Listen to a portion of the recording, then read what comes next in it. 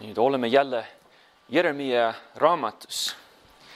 Jeremiah raamatus ja vaatame siis äh, Jeremiah raamatus.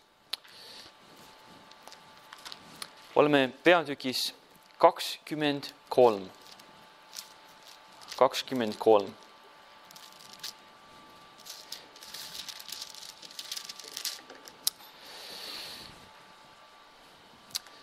teleevangelist ja tervendaja Peter Popov. ta ütleb oma, oma telesaates publikule, et keegi siin publikus nimega Alice, tema nimi on Alice, Alice Gould, Alice Gould, tõuse püsti, kus sa oled? ja siis sa näed, et üks vana naisterahvas tõuseb püsti prillidega, hallide juustega ja ta ütleb talle, Alice, mul on sulle hea uudis, et Jumal teeb su terveks täna. ja siis ta nimetab, et Jumal teeb selle kilpnäärme terveks. ja sa vaatad, et selle naise nägu natuke üllatunud, kuidas ta teab ja et Jumal teeb mu terveks täna. ja siis ta rääkis edasi, et äh, detaileid, et kõige ees, et Jumal puudutab tema närvi ja tema silmi ja ta läks aina rõõmsamaks, see, see naine. tõstke oma käed ja ole valmis, sest see tuleb, see tuleb. Ja see Peter, Peter Popov tuli tema juurde mikrofoniga. Ja siis küsis, kas oled valmis, kas oled valmis, Jumal õnnistab sind. Ja sulle tuleb head uudised Charlesist ja siis jälle ta on ületanud, kuidas ta teab, et, et, et Charlesiga oli mingi, mingi palvesoov või midagi. jumal päästab teda sellest. nüüd tuleb tervendamine Jeesuse nimel ja ta paneb oma käe tema pea peale ja ta kukub tagasi maha. ja kõik plaksutavad ja ta ütleb, Jumal on ta terveks teinud tuhandeid uskusid sel ajal, see oli kaheksakümnendatel Ameerikas. tuhandeid uskusid, et see Popov oli Jumala prohvet ja tervendaja. ja kuidas ta muidu teaks neid detaile inimestest ja kuidas ta muidu saaks neid terveks teha. kuigi tuli välja, et Peter Popov oli petlik valeprohvet. tänane teema, valed prohvetid, valed prohvetid. kuidas me tunneme ära need valed prohvetid? oleme praegu Jeremiah raamatus ja kahekümne kolmandas peatükis, kus Jumal hoiatab meid äh, valede prohvetite pärast või eest. kuidas me tunneme neid ära? me näeme siis Jeremiah raamatus sellest peatükist, et me tunneme neid ära, sest valed prohvetid kuulutavad Baali nime. Nad julgustavad kuritegijaid, teevad häbitut pattu ja valetavad. alustame sellega. Valed prohvetid kuulutavad Baali nimel, kuulutavad Baali nimel. loeme ähm, praegu salmid üheksa kuni kolmteist. prohvetite kohta.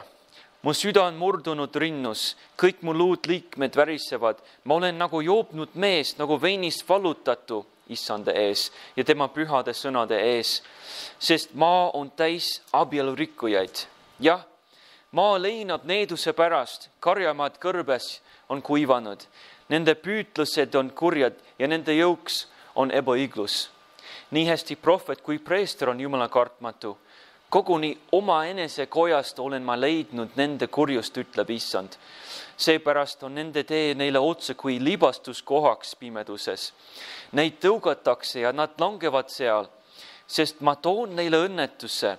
Nende karistusaasta, ütleb issand ka Samaaria prohvetite juurest nägin ma jõledust. Nad kuulutasid prohvetlikud Baali nimel, ja eksitasid mu rahvast Iisraeli. jumal ütles, et kes need valed prohvetid on? Need on need prohvetid, kes kuulutavad Baali nimel. minu oma prohvetid ei kuuluta Baali nimel, aga nemad kuulutavad Baali nimel. Nad kulutavad valeõpetusi avalikult, peidetult. Iisraeli prohvetid kuulutasid Baali nimel. Iisrael oli Jumala juurest nii kaugele läinud sel ajal, et nad olid valmis pigem Baali kuulda võtma kui issand, issanda hääl kuulda võtta.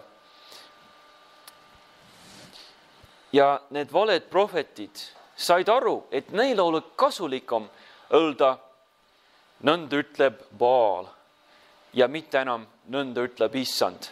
Neile oli kasulikum kuulutada Baali nimel. rohkem inimesed võtaksid neid kuulda. samamoodi meelitavad kristlasi maailma tarkus, eneseabi ja paganlikud õpetused tänapäeval. Paganlikud õpetused.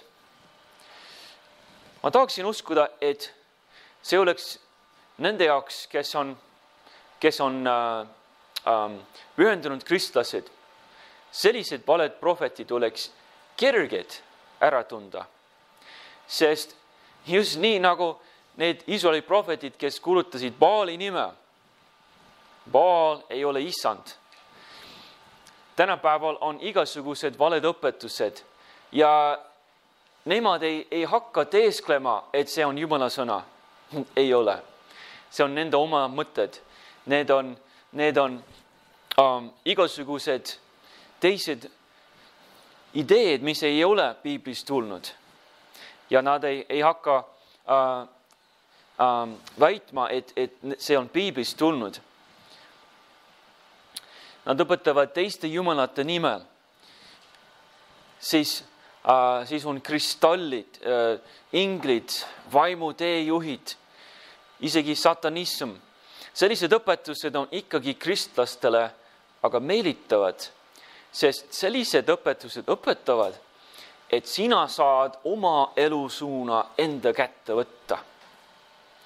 hakkad oma elu valitsejaks. Nende asjadega, nende vaimu teejuhtidega sa võtad eh, võimu nagu enda kätte. sa, sa oled oma, oma, oma elu valitseja. ja see on alati Äh, meelitav kõikidele inimestele, oleme uhked, me tahame öö, oma teed minna. aga mõned sellised valed õpetused on natuke raskem ära tunda. nüüd ma, ma tõlkisin inglise keelest, ma ei tea, kas on õiged sõnad. Prosperity gospel, jah, edu evangeelium Äh, kuulutatakse edu evangeeliumit.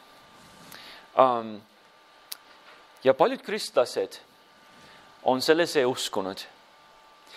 Mm, sest, sest need on sellised inimesed, kes nimetavad ennast kristlasteks, nad kasutavad piiblit ja räägivad Jumalast kogu aeg. aga nad õpetavad täpselt sama asju, kui need paganlikud Baali nimel kulutavad äh, sellised valed prohvetid. täpselt samad õpetused, täpselt samasugused eneseabi õpetused um,. edu evangeelium.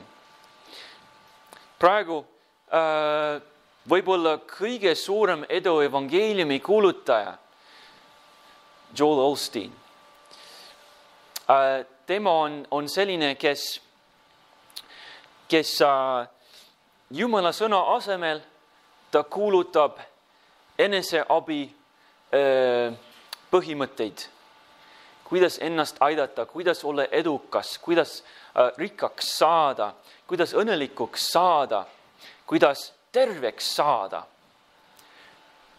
ja küll ta kasutab, no ta võtab mõned piibisalmid ja siin ja seal ja, ja mainib Jumala nime kogu aeg. aga võtta ära Jumala nime, võtta ära need piibisalmid ja see on täpselt sama õpetus kui, kui mingisugune valeõpetaja, valeprohvet kristlaste seast väljaspool. mis on see edu evangeelium muidu? edu evangeelium. keegi on kirja pannud viis põhimõtet ütleb, et, et kui õpetatakse evangeeliumit, siis õpetatakse, et Abrahami leping on materiaalse õiguse vahend. teiseks, et Jeesuse lepitus kehtib ka vaesuse patu kohta. Jeesus suri ristil, tõusis surnuist üles mitte ainult selleks, et sa saaks päästetud ja pääseks taevasse, vaid ka selleks, et sa ei oleks vaene, et sa oleks rikas inimene, et sul oleks palju asju. sest vaesus on patt, mida Jeesus teeb terveks. ja kolmeks, kristlased annetavad Jumalalt ähm,, annetavad äh, äh, nii, et Jumalalt rahalist hüvitist saama miks sa annad raha kogudusele?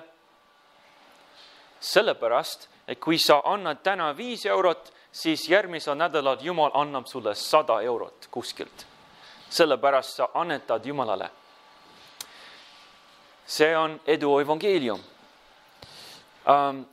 neljas, usk on enesetekitatud vaimulik jõud, mida viib edule. usk on see kui sul on usku, siis sa saad rikkaks, siis sa saad terveks.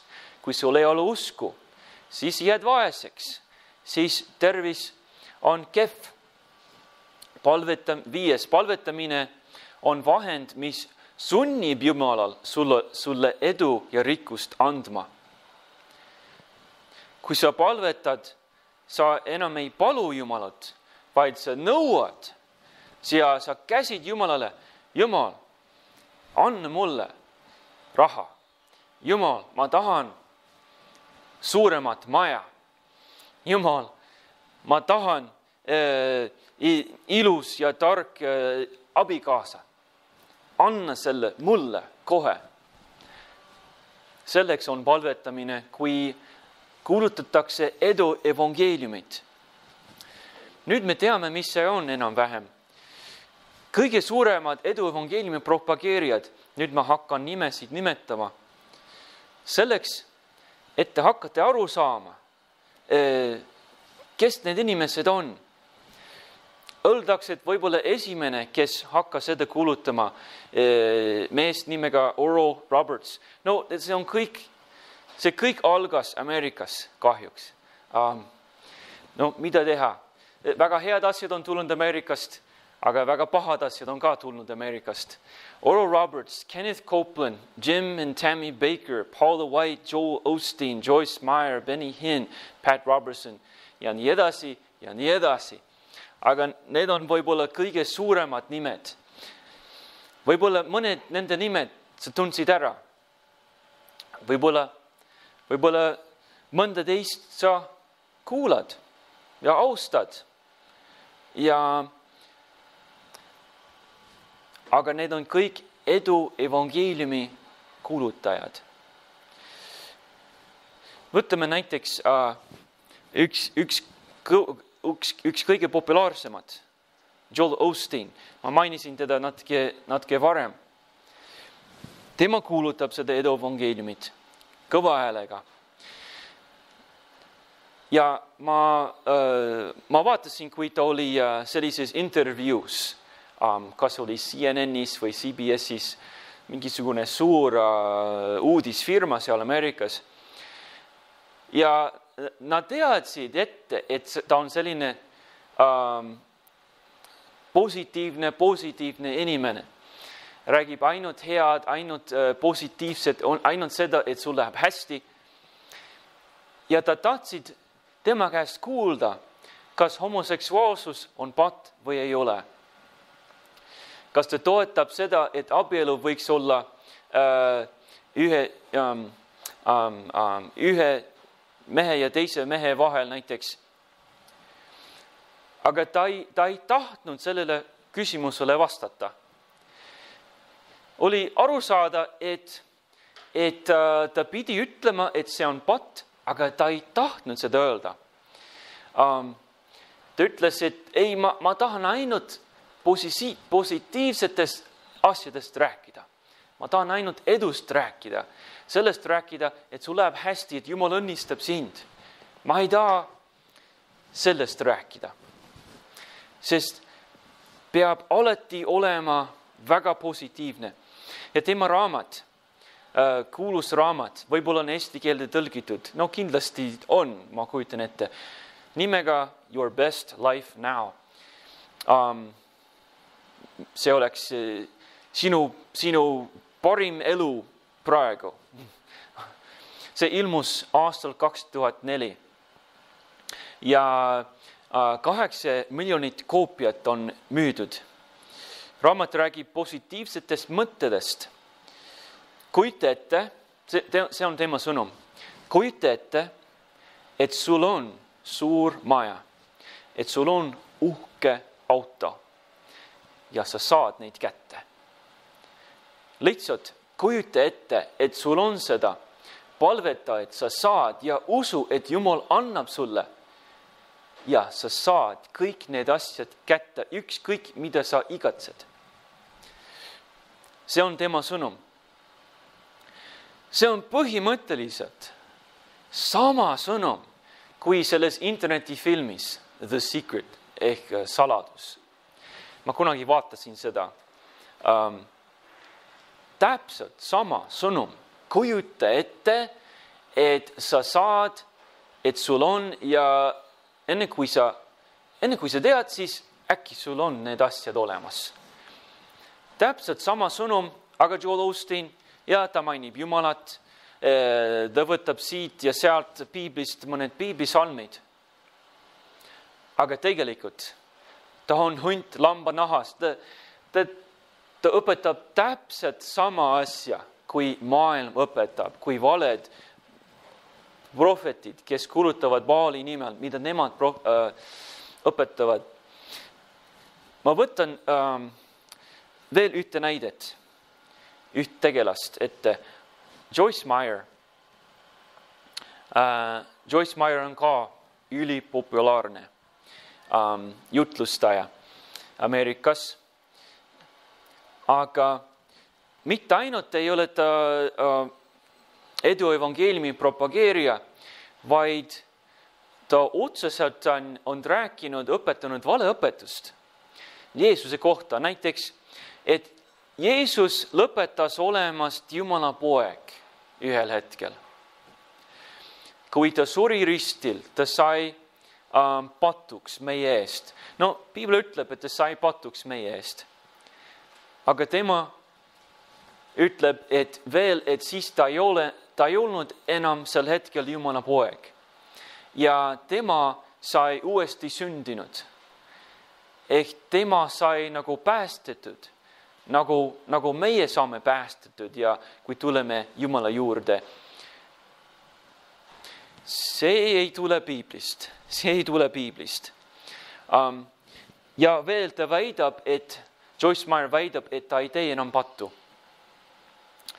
et ühel hetkel ta sai aru, et ta ei ole patune ja nüüd ta ei tee enam pattu. umbes, õpetab umbes nii, et, et, äh, et kui, kui sina saad sellest ka aru, siis sina ei tee enam pattu.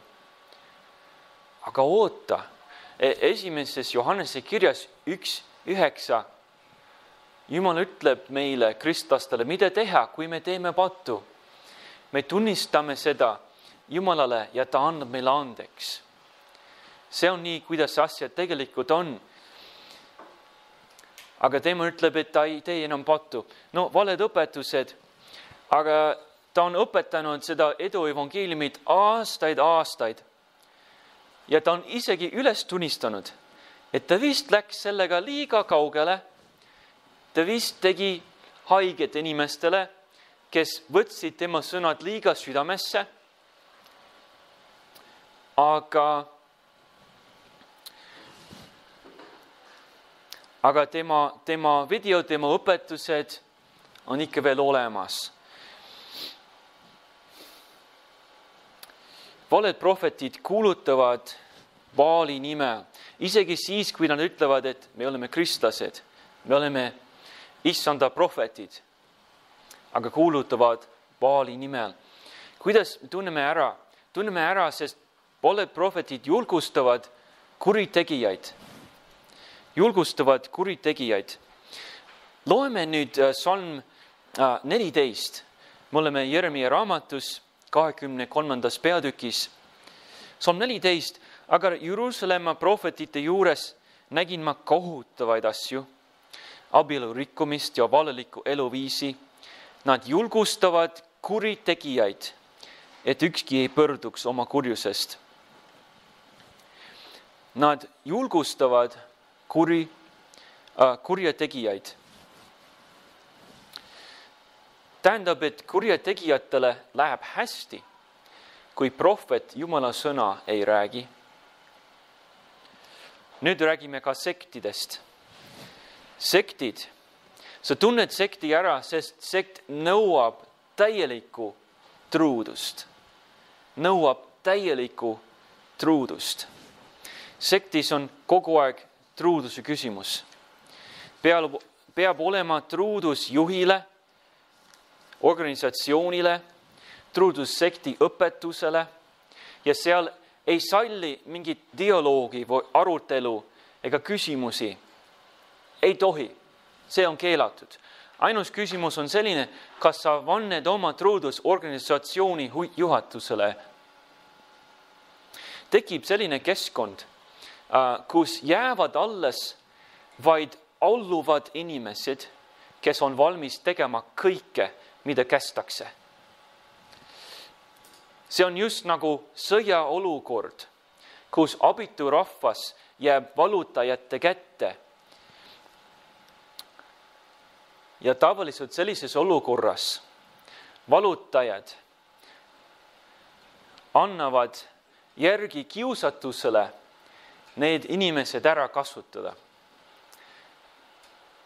täpselt sama, täpselt sama keskkond tekib sektis. inimesed alluvad täielikult sellele organisatsioonile või, või juhile. ja selle sekti juhatus ähm, kasutab need inimesed ära. ja julgustatakse kurjategijaid. On olemas hirmsad sektid meie maailmas.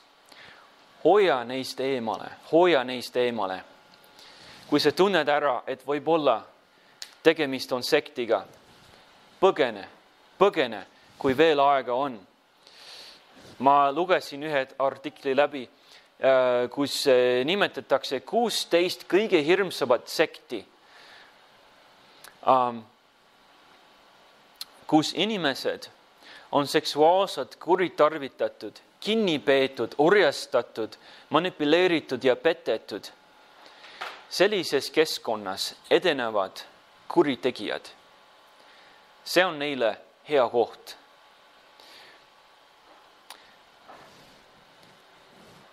ja ma ei hakka rääkima detailselt, et mida on juhtunud sektides.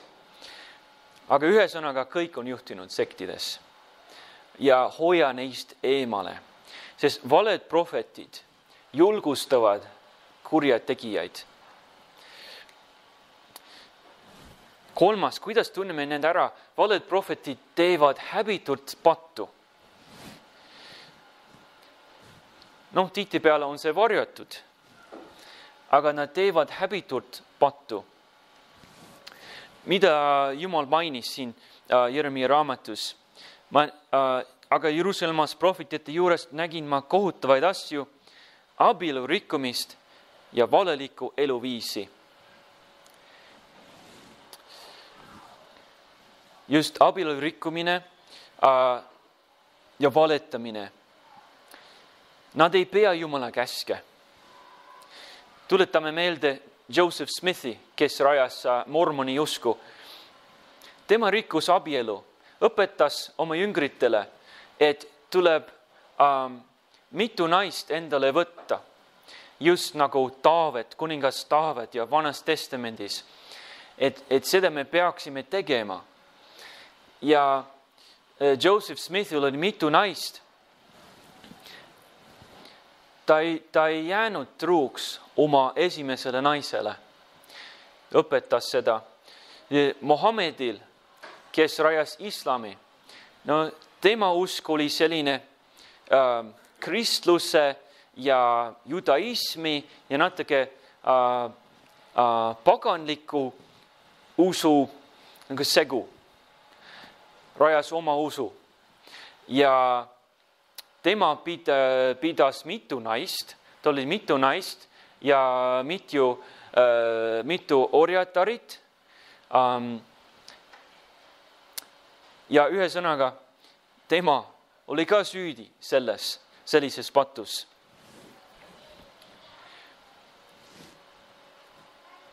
aga mida võime öelda nendest edu evangeeliumi kulutajatest, nendes äh, nendest äh, tervendajatest, teleevangelistidest.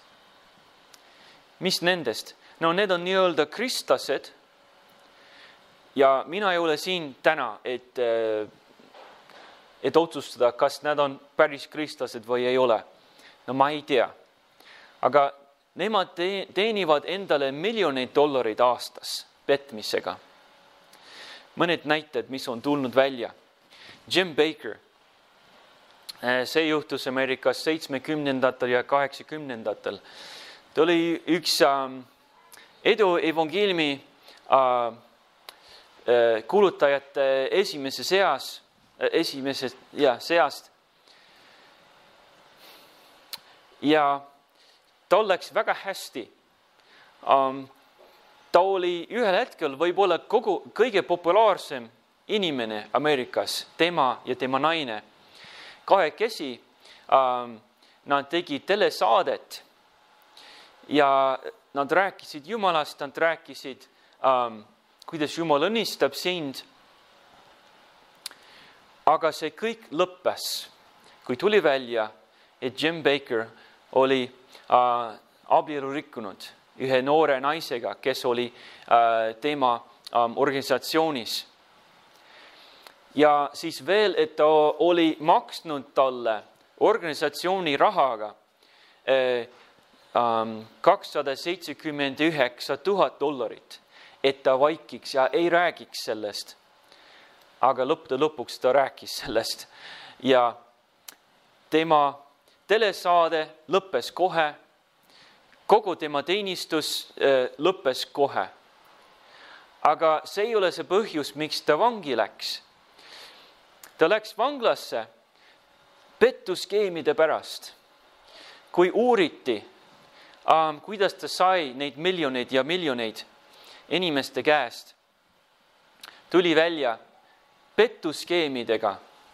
Ähm, ta saatis äh, posti teel potiskeemi äh, kirjad, inimesed maksid talle raha ähm, uskudes, et, et Jumal õnnistab neid ja et nad saavad kõik rikkaks. aga otsustati, et need olid kõik pettuskeemid, et ta, ähm, ta pidi vanglasse minema nelikümmend viis aastat. aga tegelikult äh, peale viit aastat ta sai vangist väljas, välja. ja ta hakkas uuesti kristlikku telesaadet ähm, võõrustada ja juhatada. uskumatu. Peter Popov, ma rääkisin temast alguses äh,. väga kuulus tervendaja ja kuidas ta teadis need detailid inimeste kohta. Oli üks mees samal ajal, kes oli, kes oli ähm,, kes oli äh,, kuidas on eesti keeles magician, ma ei mäleta. Ähm,, teeb trikk mustkunstnik ja see mees oli mustkunstnik, professionaalne mustkunstnik ja tema hakkas käima eh, selles telesaades, ta oli lihtsalt publikus ja vaatas ja uuris, mida ta teeb. Sest tema oli väga tark, see mees, ja ta teadis palju trikke ise. ja tal olid mõned teised äh, inimesed publikus, kes äh, kes aitasid teda ja vaatasid, uurisid. ja üks, üks mees, äh, kes aitas teda, sai Peter Popovi lähedale ja ta nägi ära, et tal oli midagi kõrvas. midagi oli kõrvas, mingisugune ähm, äh, äh, seade. ja siis sellega algas Peter Popovi äh,, Popovi langemine. sest järgmine kord ähm, nad käisid edasi selles telesaades publikus, võtsid kaasa mõned ähm,, mõned äh, raadio ähm,, no mõned seadmed, kust nad said kätte need sõnumid, mis pidid tulema tema kõrvasse. ja tuli välja, kui nad kuulasid seda tuli välja, et see oli äh, Peetri äh, naise hääl ja tema rääkis kõike talle kõrvasse.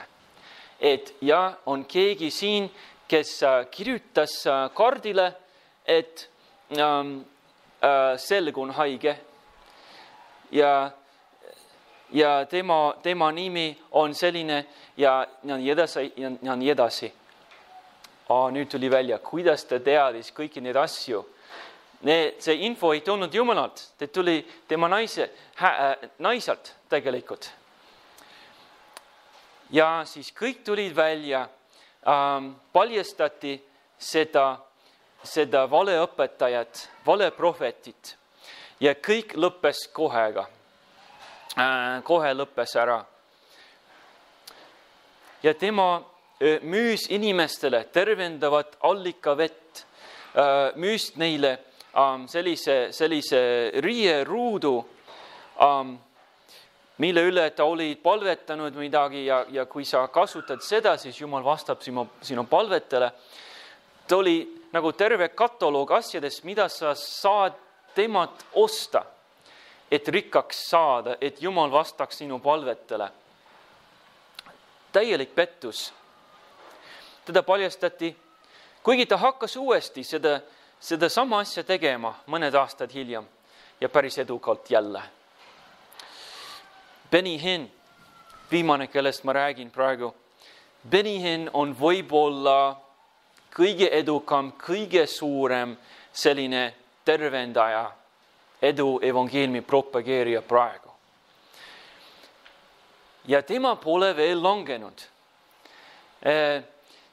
ta on nagu, nagu selline Donald Trump, et ükskõik, mis juhtub, ta, ta, ta nagu jääb ellu.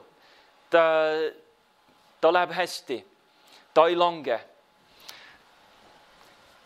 um,. Aga mõned on öelnud peale seda, kui Benny Hinn tegi, ta, tegi ta terveks, ütles pärast, et no tegelikult ma ei saanud terveks, mul on ikka veel see see lonkamine või mida iganes. paljud inimesed on öelnud, et nad terveks ei saanud, aga keegi pole veel kinnitanud ähm, selgelt, et ta on keegi terveks saanud. kuigi ta läheb edasi oma petmisega ähm,. ta elab jälle rikas eluviisi, eralennuk, kallid hotellid, mitme miljoni dollari väärt maja, valitsus hakkas isegi teda uurima selle pärast, kuidas tal on nii palju raha. ähm, aastal äh, kaks tuhat seitseteist äh, äh, Ameerika IRS ähm, uurisid teda, nad, nad murdsid sisse tema maja. Aga ilmselt nad midagi ei leidnud. ta teeb edasi seda ähm, seda tervendamist ja, ja neid, neid suuri ja eh, suuri ja nagu üritusi, mida ta teeb. on võimalik, no oli üks, üks, üks päev, kus tema vaenlased arvasid, et aa, nüüd me saime ta lõpuks kätte, kui ilmus ähm, ajalehes äh, pilti, kus Benihin käsikäes ähm, ühe naisterahvaga, kes oli ka selline teleevangelist ähm, ja päris ilus naine muidu ja tema oli just ähm, ähm, meest lahku läinud. ja Benny Henni abielu oli ka äh, päris äh,, päris raske sel ajal. Ja nad tulid käsikäest hotellist väljas ja keegi sai pildi nendelt. aga Nad mõlemad eitasid seda, et ei, me midagi ei juht-, ei teinud, midagi ei teinud, ei, me ei olnud koos hotelliruumis, ei olnud. aga tema, tema naine võib-olla ei uskunud, et Benny Henni naine ähm, läks temast lahku. Ja siis uskumatult ta tuli temale tagasi, abielus temaga uuesti mõned aastad hiljem see Benny Hinn on selline, et no ta jääb ellu, ta läheb edasi, ma ei tea, kuidas um,. aga me võime olla päris kindlad, et ta on samasugune tüüp nagu need teised. ja tema sai alguse sellega ka kaheksakümnendatel Ameerikas, kuigi ta on Iisraelist pärit. Nad teevad häbitut pattu, petavad, valetavad igas telesaades, häbitud, kõiges maailma ees.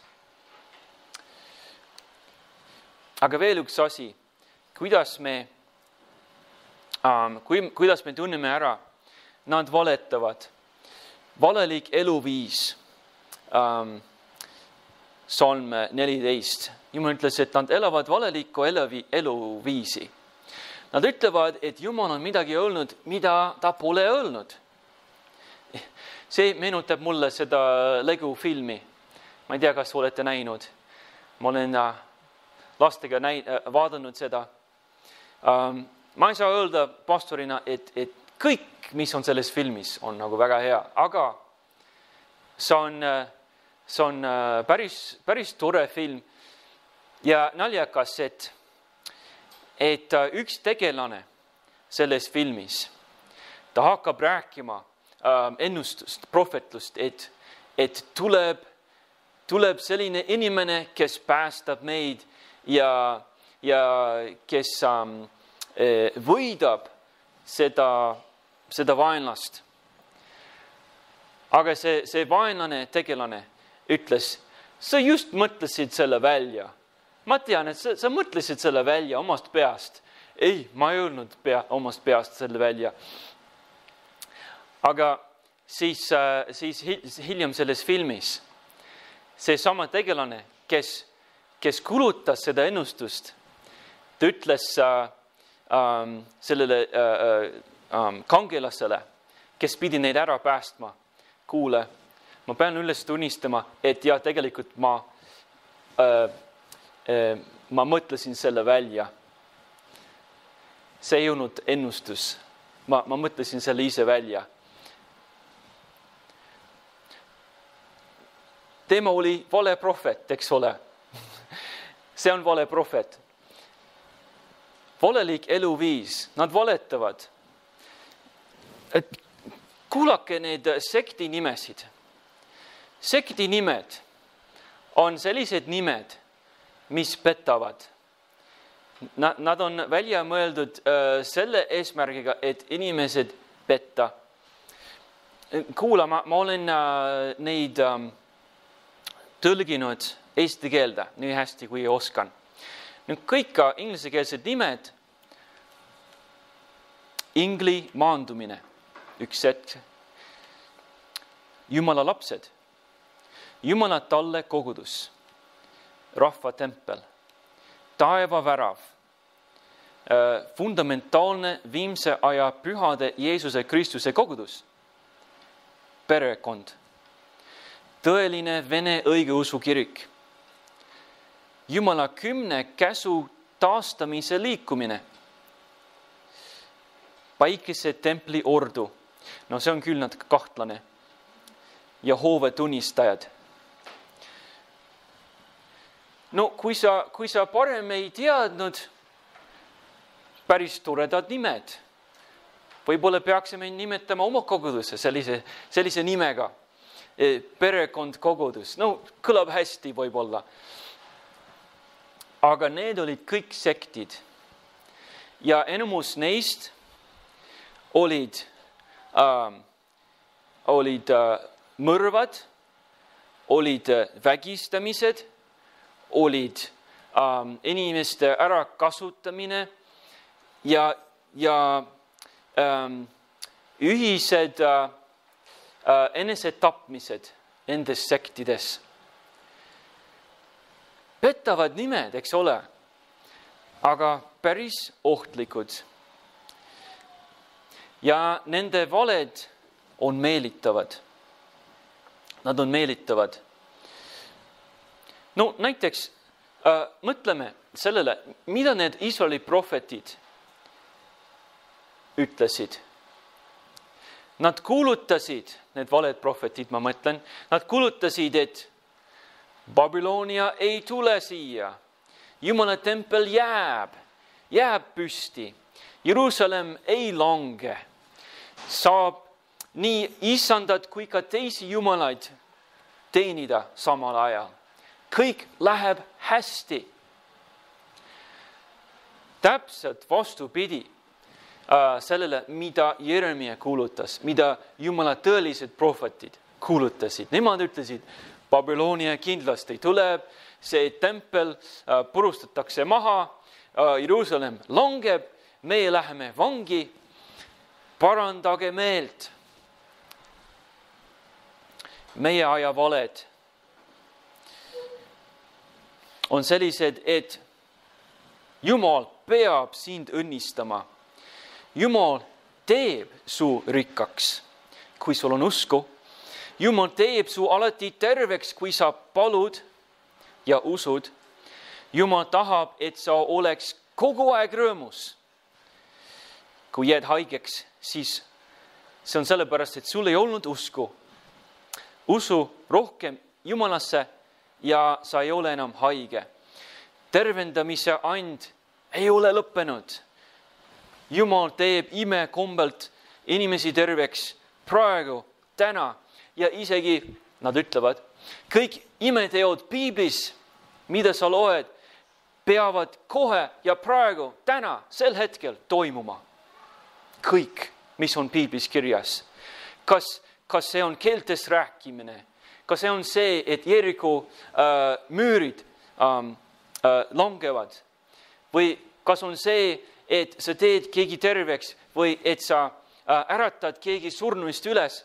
see kõik peab täna ja praegu toimuma. ja nad õpetavad, et kui annetad neile nendele organisatsioonidele, kogudustele, siis Jumal on sunnitud su rikkaks teha. Jumalal pole mingit küsimust, vaid selle, et ta peab su rikkaks tegema, sest sa andsid tuhat eurot eh, eh, Joel Ostini um, organisatsioonile näiteks. nüüd selle seemnerahaga kasvab miljoneid miljoneid sulle, sa saad ülirikkaks. ma lõpetan ühe tunnistusega. üks mees nimega äh, Kosti Hinni, Kosti Hinn, ta on äh,, Benny Hinn on tema onu. ja tema on tunnistanud, mis on temaga juhtunud et ta kasvas üles äh, Henni perekonnas ja Hinni perekonnas on, nagu võiks ette kujutada, päris luksuslik eluviis, kui sa oled Hinni perekonnas. sa elad uhkes majas, sul on, sa sõidad uhkete äh, autodega, siis äh, mõnedel on oma, omad eralennukid, sa ööbid äh, kallides hotellides, sa sööd rikkalikku sööki um,. aga Kosti uh, tunnistas, et,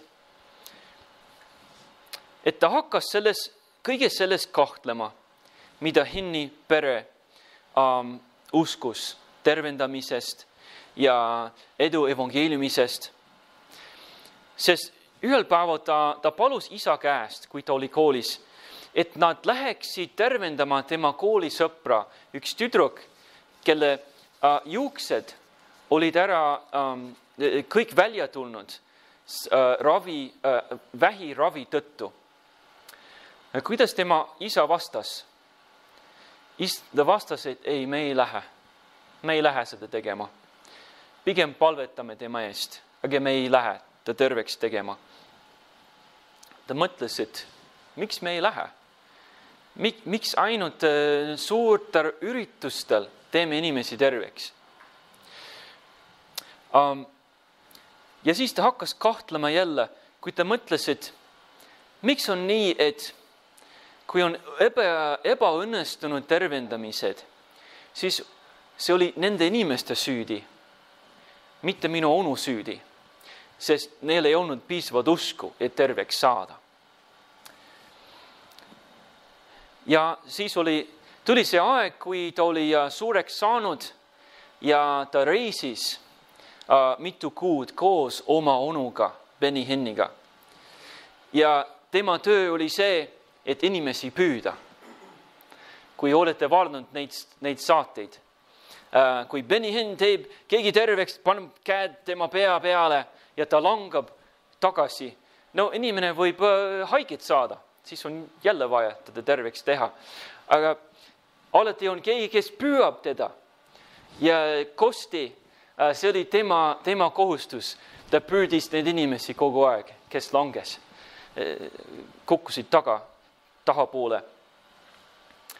ja kui ta reisis oma onuga, äh, kirjutas, et nad elasid justkui kuningad Dubais, Hawaii's äh, igal pool uhked hotellid, suured majad äh, mere ääres, uhkete autodega eralennukid ähm,, ähm, äh, oma, oma nagu erapere äh, kokad nende teenistuses kogu aeg.